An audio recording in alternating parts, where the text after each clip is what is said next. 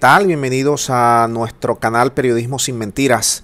Fíjense ese libro, apareció recientemente y son de dos periodistas británicos de la agencia Bloomberg, que es una agencia, que es una agencia especializada en el tema financiero y económico, la más grande a nivel mundial. Ellos allí están contando algo que te va a dejar helado. Cómo el presidente del Banco de Inglaterra, sus autores, antes de decirte, sus, autores son Javier Blas, este que tenemos acá, vamos a colocarlo, este es el libro de Javier, Javier Blas, y Jafarchi. Ellos se comunicaron con el, ¿cómo se llama esto? Con el presidente del Banco de Inglaterra, que era para entonces en 2018, eh, Mark Carney, ellos hablaron por teléfono, y Mark Carney le cuenta cómo recibió la llamada. Estamos hablando de 2018. Todavía no había aparecido Guaidó, pero ya estaba en los planes. Cómo, fíjense bien, recibió la llamada del ministro de Relaciones Exteriores británico, y aquí lo cuenta Javier Blas en su cuenta social, no estamos inventando nada, lo había llamado a este presidente del Banco de Inglaterra para que se negara a entregarle el oro a Venezuela. 2018, mucho antes.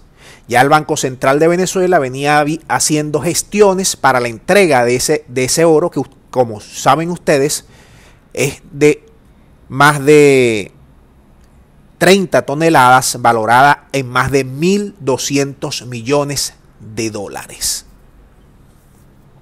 Escuche bien, Mark Carney le dice a Javier Blas, y aquí está el tweet, Javier Blas, periodista británico de la agencia Bloomberg, que el Banco Central de Venezuela hizo intento de retirar el oro en 2018, hasta en cinco oportunidades les enviaron comunicaciones desde Venezuela y que el Banco de Inglaterra rechazó por presiones del ministro de Relaciones Exteriores, del canciller británico, que a su vez estaba siendo presionado por el Departamento de Estado del país poderoso.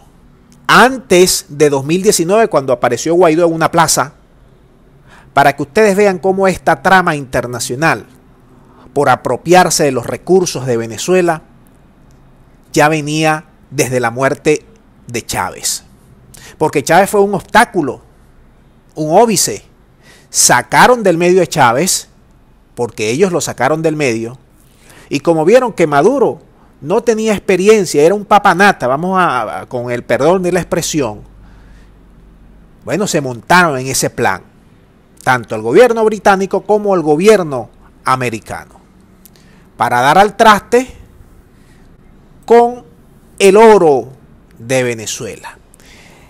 Y ahí estamos viendo, ahí estamos viendo cómo luego lo cuenta John Bolton en su libro, ellos presionaron al gobierno británico para que no entregara esa plata y que luego cuando sale Guaidó ya de alguna u otra manera, perdón, de alguna u otra manera, aquí tenemos al, ministro de Relaciones británico para ese momento, tanto, tanto Carney como el ministro de Relaciones británico, Alan Duncan, pertenecen a grandes corporaciones porque ustedes saben, amigos míos, y es bueno que se entienda, todos estos gobiernos del imperio A y del imperio B están gobernados por corporaciones, son gobiernos corporativos, simplemente una fachada política. Detrás está el titiritero mayor, que son los bancos, que son los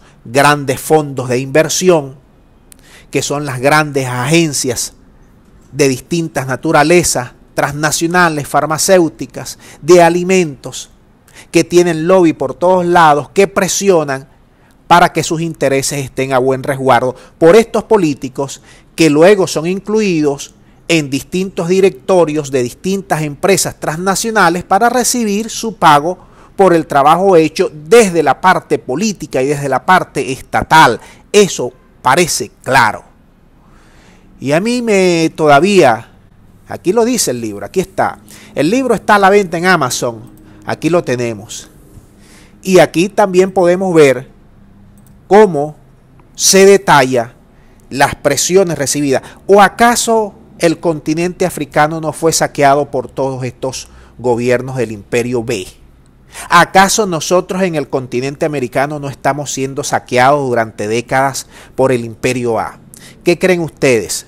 ¿Que aquí el problema ha sido Maduro Guaidó? El problema ha sido los recursos de Venezuela. El problema ha sido que estos gobiernos no van a dejar que nadie interfiera en sus transnacionales para quedarse con la riqueza de un país. Aquí tenemos a Vanessa Newman con estos representantes británicos que fue la designada por Guaidó para tratar de quedarse, como efectivamente ha sido así, con las riquezas del, del Esequibo dándole, dándole eh, eh, digamos, facilidades a las empresas británicas de petróleo, que ya sabemos todo, lo hemos contado todo, y además a las empresas británicas por el oro.